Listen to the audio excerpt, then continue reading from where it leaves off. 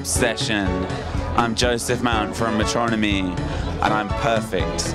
Our French public, I think, um, I'd say that they're incredibly generous. Uh, like, it's not very.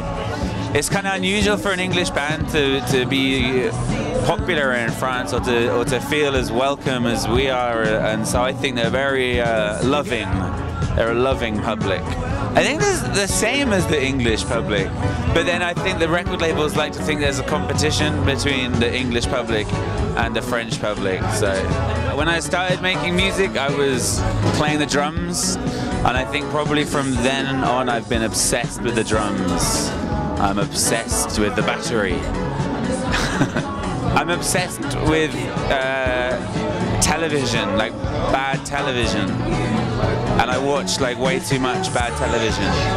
I don't have many bad obsessions. I mean, like, I'm perfect.